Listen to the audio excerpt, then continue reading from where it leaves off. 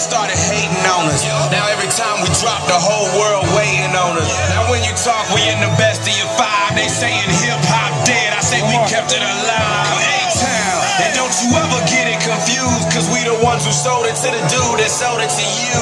First album out the trunk, I started making some bills.